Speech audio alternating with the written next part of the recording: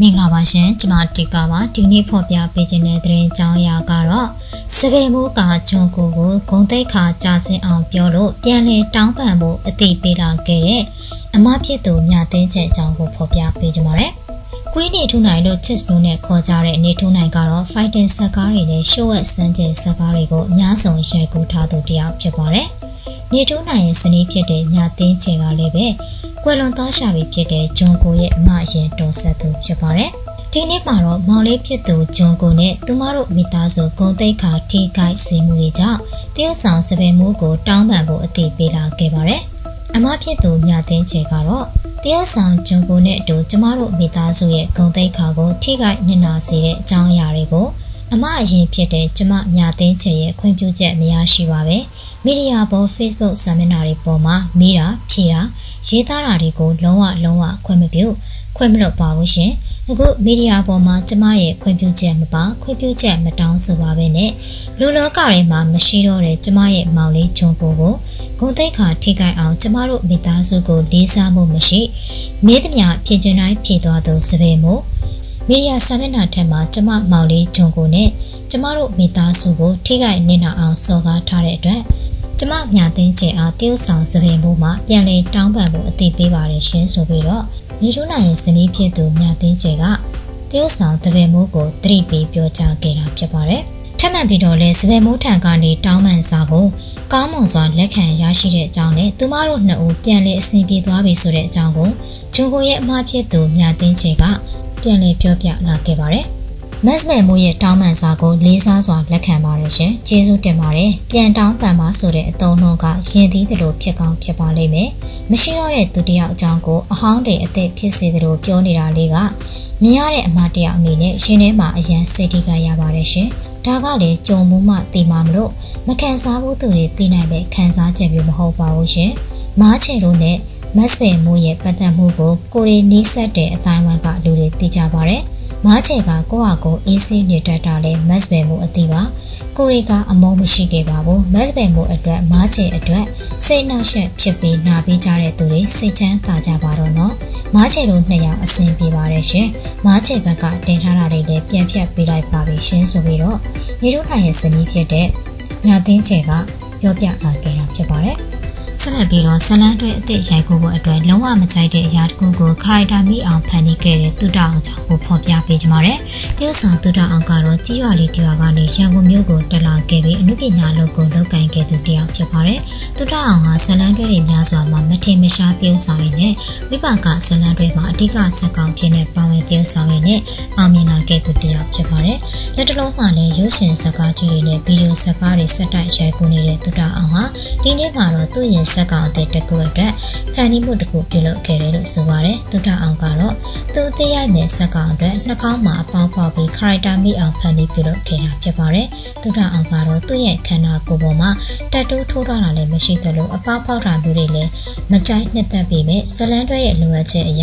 လိုအပ်တဲ့အခါမှာတော့ character မိအောင်ဖန်တီးပြုလုပ်ခဲ့တာဖြစ်ပါတယ်။ဆက်လက်ပြီးတော့ပန်းတနော်အိမ်မဲကာလန်ဘီကအိမ်တွေကိုချက်ချင်းဖြတ်ခိုင်းပြီးမဖြတ်ရင်ဘူရိုစာနဲ့ထိုးမယ်လို့အ သိပေးတဲ့အကြောင်းကိုဖော်ပြပေးကြပါမယ်။ AR တိုင်းဒေသကြီးပန်းတနော်နဲ့အိမ်မဲကာလန်ဘေးကအိမ်တွေကိုစစ်တပ်ကချက်ချင်းဖြတ်ခိုင်းနေပြီးမဖြတ်ရင်တော့ဘူရိုဇာနဲ့ထိုးမယ်ဆိုပြီးပြောတယ်လို့သိရပါဗျ။ရဲတပ်ဖွဲ့နဲ့စစ်သားတွေပါဝင်တဲ့အဖွဲ့ကတော့ဒီကနေ့မှပဲကွင်းစင်းလာရောက်ပြီးတော့အဲ့ဒီလမ်းဘေးကနေအိမ်တွေကိုဖြတ်ခိုင်းနေတာပါ။တတိပေးစာလည်းပေးသွားတယ်လို့မဖြတ်ပေးဘူးဆိုရင် ဘူရိုဇာနဲ့ထိုးပစ်မယ်ဆိုပြီးနှုတ်နေနေပြောသွားခဲ့တယ်လို့ဆိုပါတယ်။ဒေသခံတွေကတော့အဲ့ဒီမှာအခိုင်အမာဆောက်လုပ်နေကြတာဖြစ်ပြီးချက်ချင်းချင်းဖြတ်ခိုင်းတဲ့အတွက်အဆင်မပြေဖြစ်နေပြီးနေထိုင်ရေးနဲ့ခက်ခဲနေတယ်လို့သိရပါတယ်။ ဆက်လက်ပြီးတော့မုံတိုင်းကြောင့်ပျက်စီးသွားတဲ့တအားလိုင်းကိုလာရောက်ပြည်ပြင်းတဲ့လျှက်စစ်လုံသားတက်လိုက်ကွယ်လွန်သွားတဲ့ဆိုတဲ့အကြောင်းကိုဖော်ပြပေးကြပါမယ်။ရခိုင်ပြည်နယ်စစ်တွေမြို့မှာမူခမုံတိုင်းကြောင့်ပျက်စီးသွားတဲ့လျှက်စစ်တအားလိုင်းကိုလာရောက်ပြည်ပြင်းတဲ့လျှက်စစ်လုံသားတအုပ်တက်လိုက်ကွယ်လွန်သွားတယ်လို့သိရပါတယ်။ဂျုံလာဆယ်ရဲ့ည၈နာရီလောက်ကရခိုင်ပြည်နယ်စစ်တွေမြို့ပုံနိုင်ရက်ကွက်ဓမ္မတုခအကြောင်းကြီးကျောင်းတော်ကနေအိမ်တအိမ်လျှက်စစ်မီရရှိဖို့ transformer စစ်ဆေးမှုလုပ်နေတဲ့အချိန်မှာလျှက်စစ်လုံသားတအုပ်တက်လိုက်ကွယ်လွန်ခဲ့တာပါ။ကွယ်လွန်ခဲ့တဲ့လျှက်စစ်ဝန်ထမ်းကတော့ AR တိုင်းပတ်တတော်မျိုးသဲကုံကြီးရွာကအသက်25နှစ်အရွယ်ကိုတက်နိုင်ဖြစ်တယ်လို့သိရပါတယ်။ပြီးခဲ့တဲ့ဇွန်လ10ရက်တုန်းကလည်းစစ်တွေတုတ်တန်ဒီဖုန်ကြီးကျောင်းဓမ္မယုံခေါမှုပေါ်တမိုးနေတဲ့လူငယ်တအုပ်တက်လိုက်ကွယ်လွန်ခဲ့ပါသေးရဲ့ရှင်။ ဆက်လက်ပြီးတော့မိုးကောင်းမှာအသေးစားကြောက်စင်တူပေါ်မှုတွေကြောင့်မြေပြိုမှာကိုဒေသခံတွေစိုးရိမ်နေတယ်ဆိုတဲ့အကြောင်းကိုဖော်ပြပေးကြပါမယ်။ကချင်ပြည်နယ်မိုးညင်းခရိုင်မိုးကောင်းမြို့နယ်နှမ်းရင်ရက်ကွက်ထဲမှာကြောက်စင်အသေးစားတူပေါ်မှုတွေအလွန်ကြုံလုပ်ခဲ့တာကြောင့်မြေပြိုကျမှုဖြစ်လာမှာကိုစိုးရိမ်တယ်လို့ဒေသခံတွေကပြောပါရယ်။အသေးစားကြောက်စင်တူပေါ်တာကို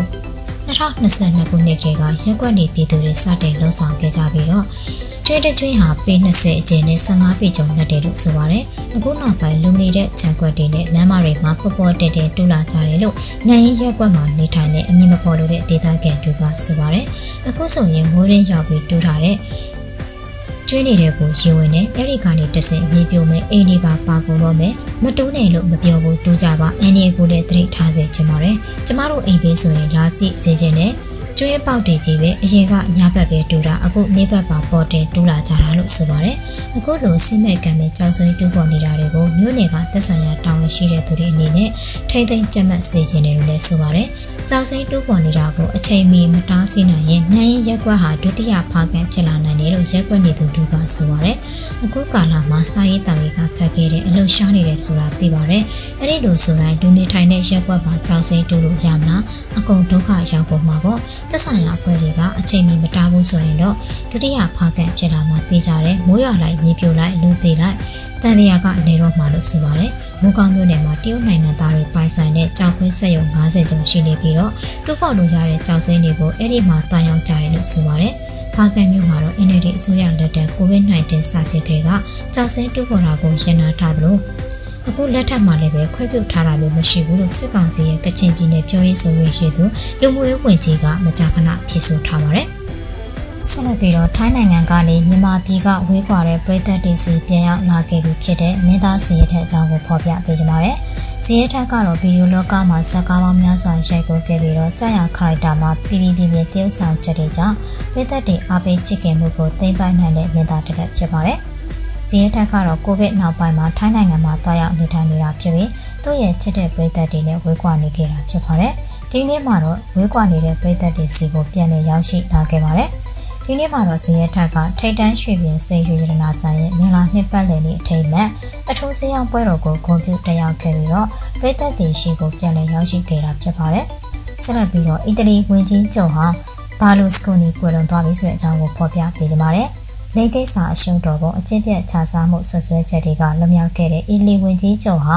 ဘာလူစကိုနီဟာအသက်86နှစ်မှာကွယ်လွန်သွားခဲ့ပြီဖြစ်ပါတယ်။သူဟာအီတလီနိုင်ငံမီလန်မြို့ကဆေးရုံမှာကွယ်လွန်သွားတာဖြစ်ကြောင်းအီတလီသတင်းဌာနတွေကဖော်ပြပါဗျ။ဘာလူစကိုနီကတော့အေပယ်လမှာနာတာရှည်သွေးကန်ဆာနဲ့ဆက်ဆက်နေတဲ့အဆုတ်ဘိုးဝင်မှုကြောင့်ကုသမှုတွေခံယူခဲ့ရတာဖြစ်ပါတယ်။ လက်ရှိအချိန်ထိတော့ကွယ်လွန်ရတဲ့အကြောင်းရင်းကိုတရားဝင်အတည်ပြုရရှိခြင်းမရှိသေးပေမဲ့သူဟာ2020ခုနှစ်အတွင်းမှာ COVID-19 ကူးစက်ခံရပြီးတဲ့နောက်နောက်ဆက်တွဲကျန်းမာရေးပြဿနာတွေရှိခဲ့ပါတယ်။နာမည်ကျော်မီဒီယာတထေးကြီးဘာလိုစကိုနီကတော့1994ခုနှစ်မှာ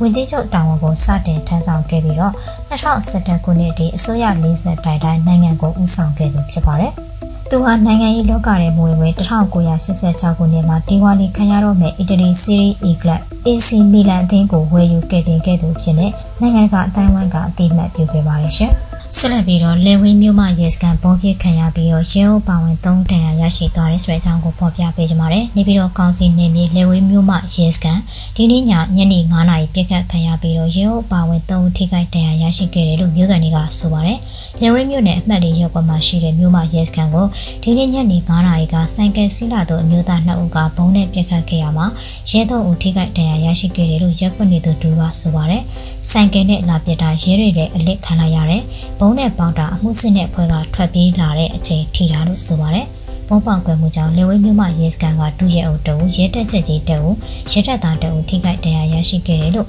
ရဲတပ်ဖွဲ့နဲ့နှိဆက်သူတွေကအတည်ပြုပြောပါတယ်။ရဲအုပ်ကဆိုရင်ရတဲ့ကြံတဲ့နှစ်ယောက်ကတိတ်မဆိုရင်ရဘူး။ အခုဂရင်ထောင်ကိုပို့ထားတယ်လို့ဆိုပါတယ်။ပြစ်ခတ်မှုကြောင့်လေဝင်းမြို့နယ်လမ်းစုံလမ်းကွာမှာစစ်ကောင်စီတပ်ရဲနယ်ဆိုင်ဖအဖွဲ့တွေကစစ်ဆေးမှုတွေပြုလုပ်နေတယ်လို့မြို့ကန်တွေကပြောပါတယ်။ပြီးခဲ့တဲ့ဒီဇင်ဘာ၁ရက်ကလည်းနေပြည်တော်ကောင်စီနယ်မြေလေဝင်းမြို့9ရပ်ကွက်ဗိုလ်ချုပ်ကျေရုပ်ဒီမှာရှိတဲ့ရဲရဲရဲကင်းမှာပုံပါပြီး